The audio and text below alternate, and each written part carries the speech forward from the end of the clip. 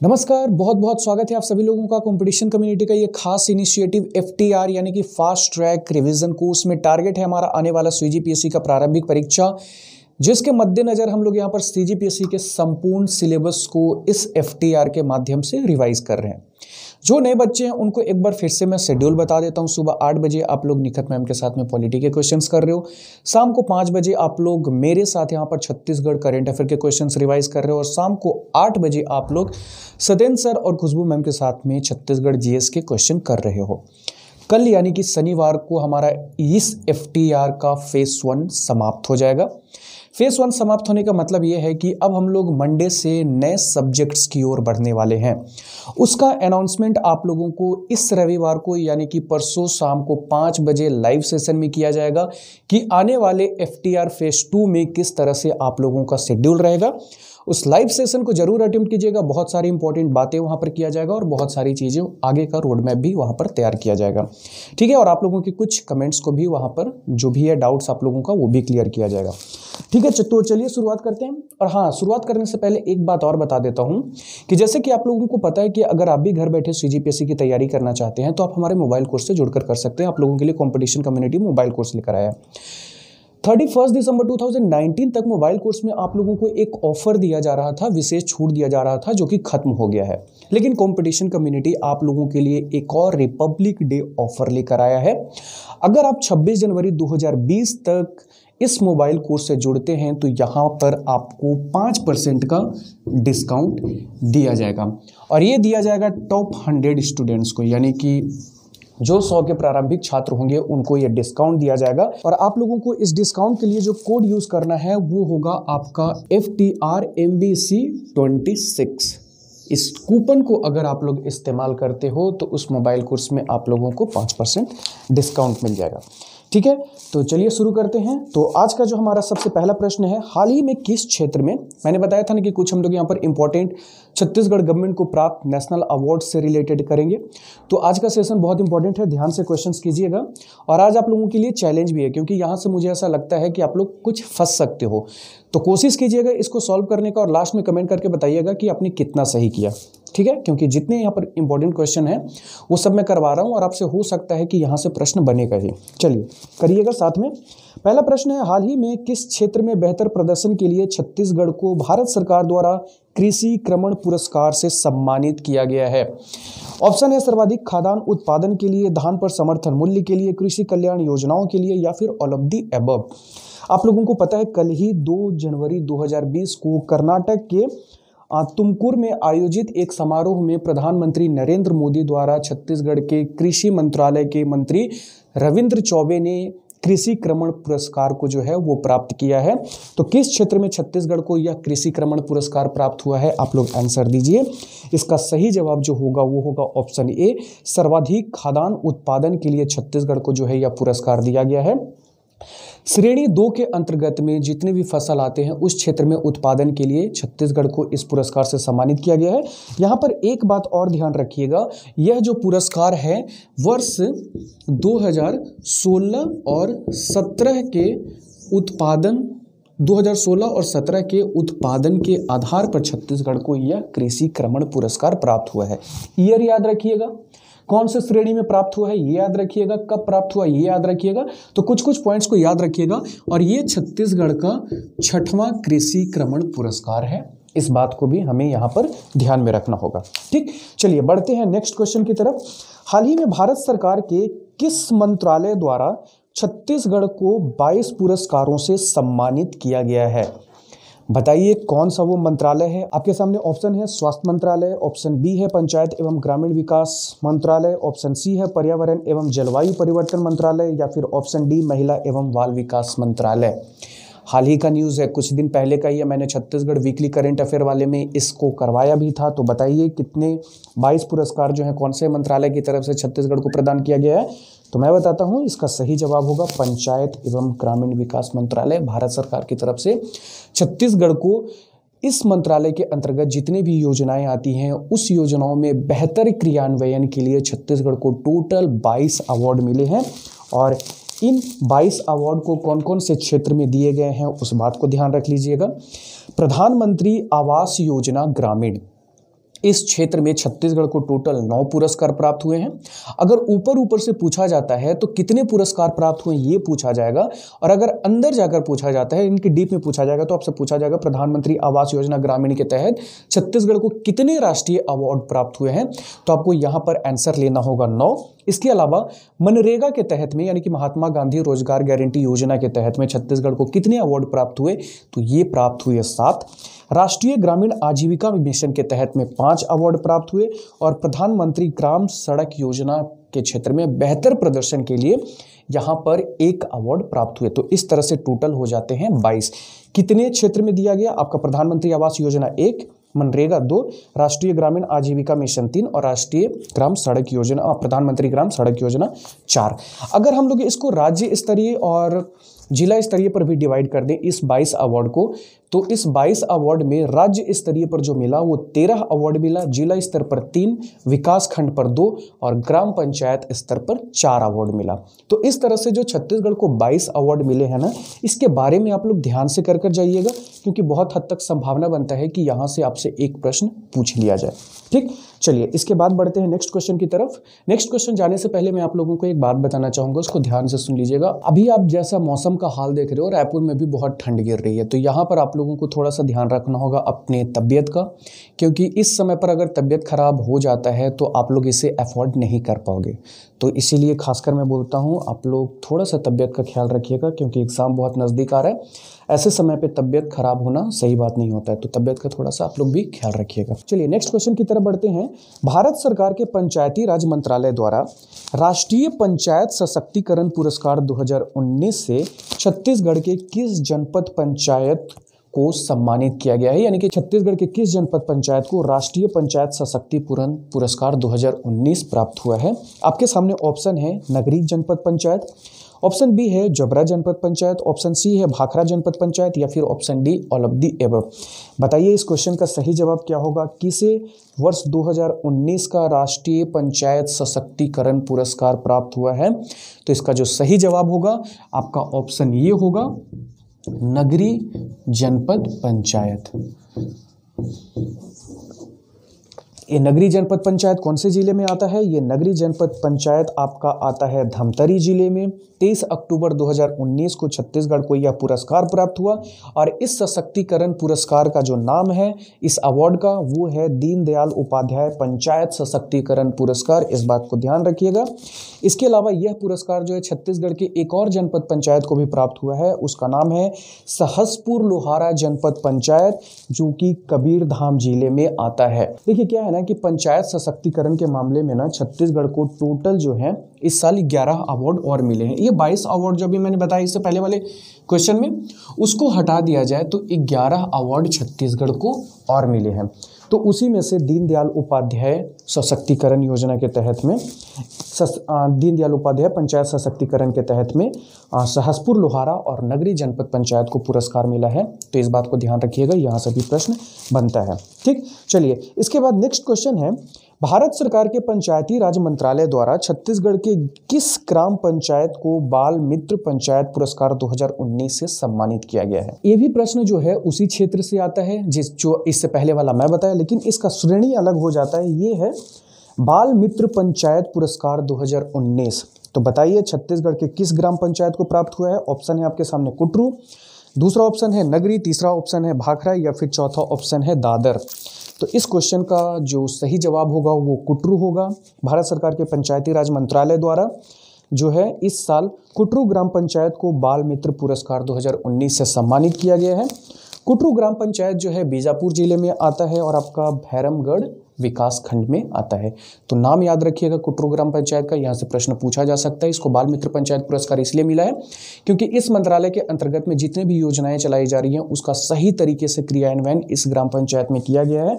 तो इसीलिए इस क्षेत्र में उत्कृष्ट प्रदर्शन के लिए इसको इस अवार्ड से सम्मानित किया गया है। ठीक? चलिए, इसके बाद नेक्स्ट क्वेश्चन की तरफ़ बढ़ते हैं। स्वच्छ भारत मिशन ग्रामीण के अंतर्गत भारत सरकार द्वारा छत्तीसगढ़ के किस ज़िले को स्वच्छता के क्षेत्र में उत्कृष्ट कार्य के लिए सम्मानित किया गया है? ऑप्शन है आपके सामने A, Kanker, B, Dhamtari C Durg या फिर डी राजनांदगांव। तो बताइए, स्वच्छ भारत मिशन ग्रामीण के अंतर्गत भारत सरकार द्वारा छत्तीसगढ़ के किस ज़िले को स्वच्छता के क्षेत्र में उत्कृष्ट कार्य के लिए सम्मानित किया गया है? तो ये है आपका ऑप्शन ए, इसका सही जवाब होगा कांकेर। केंद्रीय जल शक्ति मंत्रालय एवं स्वच्छता मंत्रालय की तरफ़ से छत्तीसगढ़ को जो है स्वच्छ भारत मिशन ग्रामीण के अंतर्गत में उत्कृष्ट प्रदर्शन के लिए कांकेर को यहाँ पर सम्मानित किया गया है इस क्षेत्र में। लेकिन एक और श्रेणी में, इसी स्वच्छता के क्षेत्र में जो है, दुर्ग को भी एक अवार्ड मिला है। लेकिन दोनों का श्रेणी श्रेणी जो है, वो अलग अलग हो जाता है। तो इस प्रश्न का जो सही जवाब होगा, वो होगा कांकेर, ठीक है? तो ध्यान रखिएगा, इसका जो राइट आंसर होगा, वो हमका हमारा ऑप्शन ए ठीक? अच्छा एक बात बताओ कि आप लोगों ने अभी तक जो एफटीआर मेगा टेस्ट का आयोजन होने वाला है, आपका 2 फरवरी 2020 को इसके लिए रजिस्ट्रेशन करवा लिया है कि नहीं? बहुत सारे लोगों ने रजिस्ट्रेशन करवा लिए हैं और अभी आज तक लगभग 2000 प्लस रजिस्ट्रेशन हो चुके हैं। तो आप लोग भी इस टेस्ट का हिस्सा बनिए, ज़रूर बनिएगा, बिल्कुल मुफ़्त है। एक राज्य स्तरीय आपको टेस्ट यहाँ पर प्रोवाइड करवाया जा रहा है दो फरवरी को दस बजे से बारह बजे तक। तो इसका रजिस्ट्रेशन आप हमारी वेबसाइट पर जाकर आसानी से कर सकते हैं। लिंक टेलीग्राम में अवेलेबल करवाया गया और इस वीडियो के डिस्क्रिप्शन में भी है। तो उसका रजिस्ट्रेशन आप लोग ज़रूर कर लीजिएगा। ठीक? चलिए, इसके बाद नेक्स्ट क्वेश्चन की तरफ़ बढ़ते हैं। हाल ही में छत्तीसगढ़ के किस व्यक्ति को वीपी मंडल सामाजिक न्याय रत्न से सम्मानित किया गया है? वीपी मंडल सामाजिक रत्न अवार्ड 2019 किसे प्राप्त हुआ है? ऑप्शन है रमन सिंह ऑप्शन बी है तीजन भाई ऑप्शन सी है भूपेश बघेल ऑप्शन डी है चरण दास महंत। इस क्वेश्चन का सही जवाब जो होगा, वो होगा ऑप्शन सी यानी कि भूपेश बघेल को इस साल का वीपी मंडल सामाजिक न्याय रत्न से सम्मानित किया गया है। और ये सम्मान जो है आपका किन्होंने दिया है भूपेश बघेल को तो ये शरद यादव जो कि पूर्व राज्यसभा के सदस्य रह चुके हैं, इन्होंने प्रदान किया है। पिछड़े वर्ग के आयोग के पूर्व अध्यक्ष हैं बीपी मंडल और बिहार के पूर्व मुख्यमंत्री भी रह चुके हैं बीपी मंडल। तो इन्हीं के स्मृति में हर साल यह पुरस्कार दिया जाता है और भूपेश बघेल को किस लिए यह पुरस्कार दिया गया है, क्योंकि आप लोगों को जिस तरह से पता है, छत्तीसगढ़ में अन्य पिछड़ा वर्ग के लिए जिस तरह से रिजर्वेशन की व्यवस्था की गई थी तो उसी के मद्देनजर जो है भूपेश बघेल को इस अवार्ड से सम्मानित किया गया है। तो याद रखिएगा, प्रश्न बन सकता है। ठीक? चलिए, इसके बाद नेक्स्ट क्वेश्चन है। पोषण अभियान में उल्लेखनीय कार्य के लिए छत्तीसगढ़ को किल, कुल कितना पुरस्कार प्रदान किया गया है? पोषण अभियान के तहत पोषण अभियान क्यों चलाया जाता है? पोषण अभियान बच्चों में माल न्यूट्रिशन की समस्या को खत्म करने के लिए चलाया जाता है या महिलाओं में एनीमिया की समस्या को खत्म करने के लिए चलाया जाता है? तो पोषण अभियान में उल्लेखनीय कार्य करने के लिए, यानी कि स्कीम्स को बेहतर तरीके से इम्प्लीमेंट करने के लिए छत्तीसगढ़ को राष्ट्रीय स्तर पर कुल कितना पुरस्कार प्राप्त हुआ है तो इस बात को ध्यान रखिएगा। ऑप्शन है आपके सामने तीन, चार, पाँच या फिर दस। तो इस क्वेश्चन का सही जवाब जो होगा, वो होगा ऑप्शन सी। यानी कि छत्तीसगढ़ को पाँच टोटल राष्ट्रीय पुरस्कार प्राप्त हुए हैं। दो श्रेणियों में। ठीक है? तो बस इतना ध्यान रखिएगा, ज़्यादा यहाँ से अंदर से क्वेश्चन पूछे जाने की संभावना नहीं है। बस दो श्रेणी में पोषण अभियान में छत्तीसगढ़ को उत्कृष्ट कार्य के लिए, योजनाओं को इम्प्लीमेंट करने के लिए और बेहतर तरीके से समावेश करने के लिए इन दो श्रेणियों में छत्तीसगढ़ को पाँच पुरस्कार से सम्मानित किया गया है। ठीक? चलिए, एक यहाँ पर इंपॉर्टेंट क्वेश्चन बन जाता है आप लोगों के लिए। ये क्वेश्चन मैंने अभी तक नहीं करवाया था, बहुत पहले करवा देना चाहिए था। ये क्वेश्चन है, छत्तीसगढ़ के किस निवासी को पद्म विभूषण 2019 से सम्मानित किया गया है? इस तरह के क्वेश्चन कई बार सी में पूछा गया है। तो आप लोगों को इसका आंसर तो पता है कि तीजन बाई को पद्म विभूषण 2019 से सम्मानित किया गया है और यहाँ से क्वेश्चन तीजन बाई से रिलेटेड हर साल एक न एक पूछा ही जाता है तो आप लोगों को आंसर पता होना चाहिए। छत्तीसगढ़ की पहली ऐसी व्यक्ति हैं जिनको कि पद्म विभूषण से सम्मानित किया गया। अगर हम लोग भारत के सर्वोच्च सम्मान की बात करें तो सबसे सर्वोच्च सम्मान कौन सा होता है? भारत रत्न होता है, उसके बाद क्या होता है? पद्म विभूषण होता है, उसके बाद क्या होता है? पद्म भूषण होता है, उसके बाद आ जाता है पद्मश्री। तो भारत का दूसरा सबसे सर्वोच्च सम्मान 2019 का जो है तीजन बाई को दिया गया था। तीजन बाई की अगर हम लोग, तीजन बाई के पुरस्कारों की बात करें तो सबसे पहले इनको उन्नीस सौ में पद्मश्री भी दिया जा चुका है। दो तीन में इनको पद्म भूषण उन्नीस सौ पंचानवे में संगीत नाटक अकादमी, एक पुरस्कार और यहाँ पर ध्यान में रखिएगा, वर्ष 2018 में तीजन बाई को जो है फुकू ओका पुरस्कार दिया गया था। फुकू ओका यहाँ पर लिख लीजिएगा एक बार। फुकू ओका सम्मान जो है तीजन बाई को दिया गया था। ये जापान का सर्वश्रेष्ठ सम्मान माना जाता है और पांडवानी गायिका हैं, जिस तरह से आप लोगों को पता भी है तो उसी क्षेत्र में बेहतरीन प्रदर्शन के लिए इनको फुकू ओका पुरस्कार 2018 से सम्मानित भी किया जा चुका है। चलिए, इसके बाद जो नेक्स्ट प्रश्न है, हाल ही में जारी सुशासन सूचकांक 2019 में छत्तीसगढ़ को कौन सा स्थान प्राप्त हुआ है? एक इंपॉर्टेंट क्वेश्चन बन जाता है, सुशासन दिवस प्रत्येक वर्ष कब मनाया जाता है, आप लोगों को पता है, पच्चीस दिसंबर को मनाया जाता है। अटल बिहारी वाजपेयी जी की स्मृति में इस दिवस को मनाया जाता है। तो बताइए कौन सा पुरस्कार प्राप्त हुआ है, सुशासन सूचकांक में, यानी कि ऑप्शन ये है पहला, दूसरा, तीसरा या फिर चौथा। तो इस क्वेश्चन का जो सही जवाब होगा, वो होगा ऑप्शन डी चौथा। हाल ही में छत्तीसगढ़ को जो सुशासन सूचकांक 2019 जारी हुआ है, उसमें छत्तीसगढ़ को चौथा स्थान प्राप्त हुआ है। इस सूचकांक को क्रमिक मंत्रालय, भारत सरकार द्वारा जारी किया जाता है। अगर हम प्रथम स्थान की बात करें तो प्रथम स्थान इस सुशासन सूचकांक में प्राप्त किया है तमिलनाडु। दूसरे नंबर पर आ जाता है आपका महाराष्ट्र। तीसरे नंबर पे आ जाता है कर्नाटक, चौथे नंबर पे छत्तीसगढ़ और पाँचवें नंबर पे आपका आ जाता है आंध्र प्रदेश। लेकिन ये तो ओवरऑल सुशासन सूचकांक हो गया। अलग अलग कैटेगरी में भी सुशासन सूचकांक यहाँ पर प्रदर्शन किया गया है, प्रदर्शित किया गया है। हालाँकि इतना अंदर से क्वेश्चन आपसे नहीं पूछा जाएगा। अगर पूछा जाता है तो डायरेक्ट ये पूछा जाएगा कि सुशासन सूचकांक 2019 में छत्तीसगढ़ को कौन सा स्थान प्राप्त हुआ है?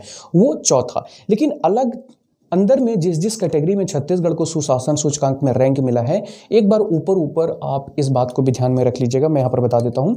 कृषि के क्षेत्र में छत्तीसगढ़ को तीसरा स्थान मिला है, पहले स्थान पर मध्य प्रदेश, दूसरे स्थान पर राजस्थान आ जाता है।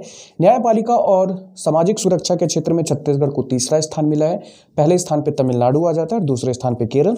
व्यापार और उद्योग के क्षेत्र में छत्तीसगढ़ को यहाँ पर चौथा स्थान मिला है, पहले स्थान पर है झारखंड, उसके बाद आंध्र प्रदेश और उसके बाद और पहले स्थान पे आ जाता है झारखंड, उसके बाद आंध्र प्रदेश और उसके बाद तेलंगाना और चौथे स्थान पे छत्तीसगढ़।